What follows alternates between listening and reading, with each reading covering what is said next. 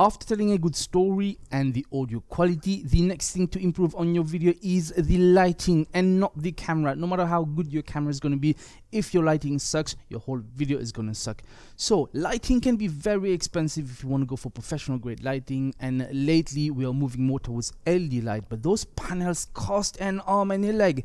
So how about we go to one of the nation's favorite store, which is going to be IKEA or IKEA, I don't know how it's pronounced and we're going to be trying one of their cheap versions which is the Ryet LED 600 lumen. This is rated at 6 watt. It's E27 cap and uh, it's 2700 Kelvin. So this is not daylight but this is rather what we call warm white okay? Now this is obviously consumer light and it's not going to give you the same results as a professional light but if you're a professional, you probably will not be watching this video unless if you're here to school me. Let's check it out. Hinim tags and welcome. This is Ash from HealMyTech. And if you're new here on this channel I want to help you develop a better relationship with technology. So consider subscribing click the bell icon to go from newbie to techie and also Amazon affiliate links in the description below.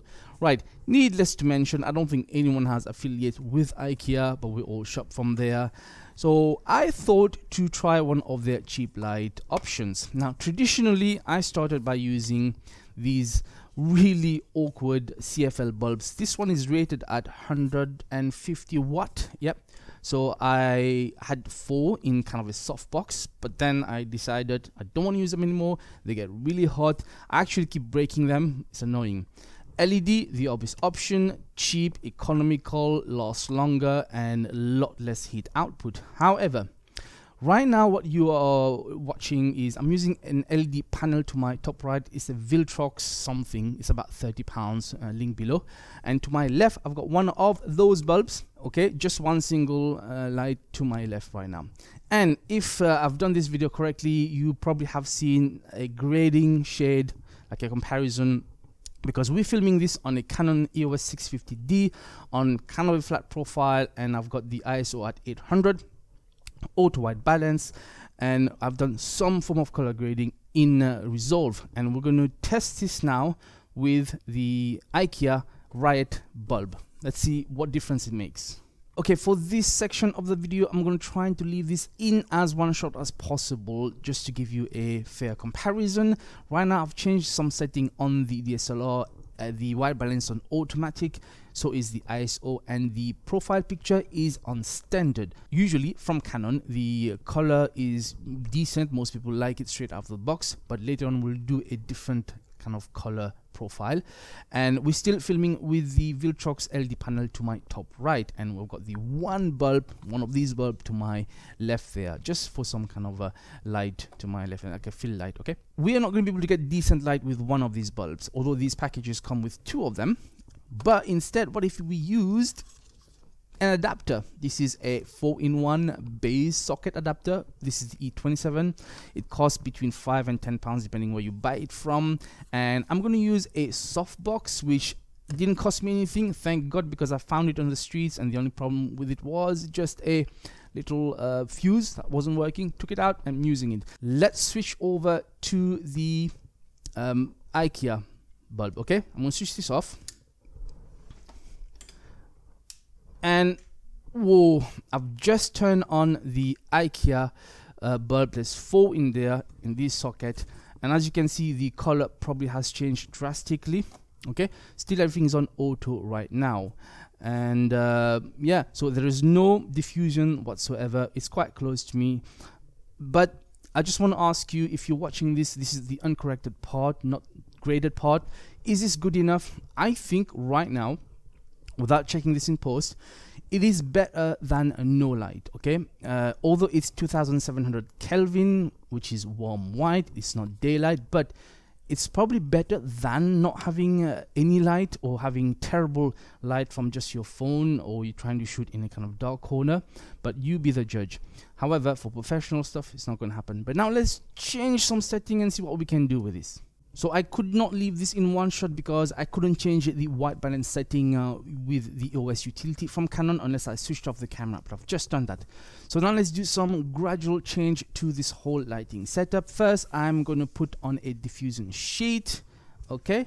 And there we have it. still trying to leave this in one shot to give you a fair comparison um, get some clips just to you know keep that in place oh my god oh my god oh come on now it's not gonna work properly. Okay fine. So that is probably a huge difference but I'm not sure how the lighting has gone down a bit but we'll you know correct that in post. And I've got the white balance at the moment on tungsten and I've also got the ISO at 800 we are shooting on a cine style profile and uh, there is no prime lens on this one. Still a normal kit lens. It's not even a very good kit lens 18 to 55 millimeter. If you had a better prime lens on there the image would be even much better.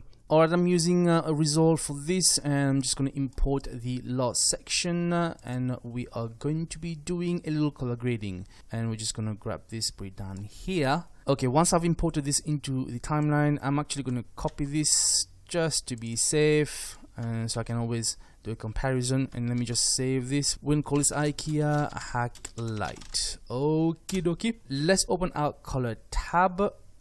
And uh, the first thing I'm gonna do is I'm gonna label this uh, hedge M and L.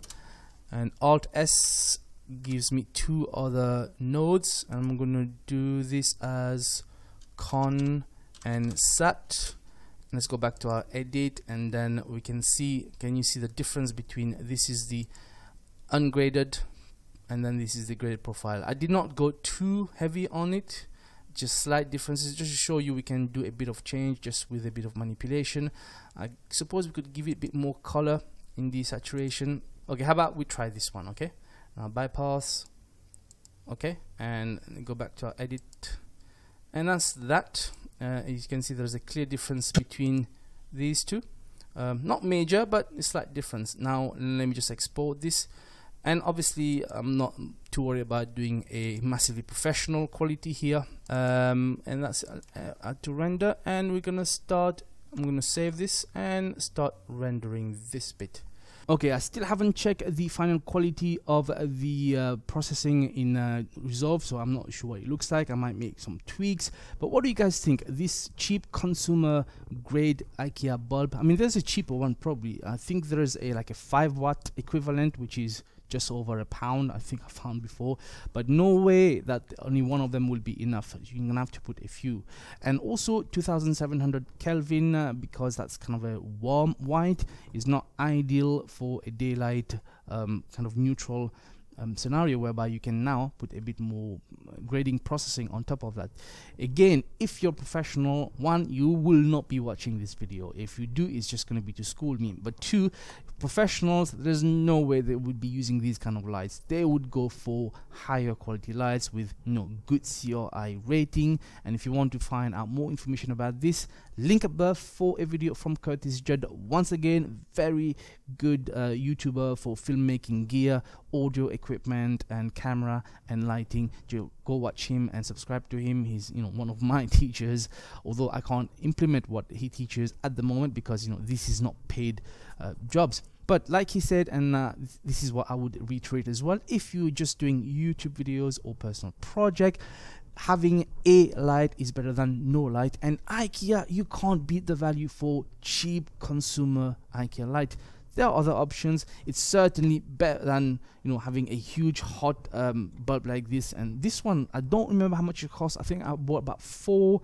for about 27 pounds something 28 so about 8 pounds each or 7 pounds each however there is another option which is the Ledea or Ledare. Um, I'll put link below again from IKEA.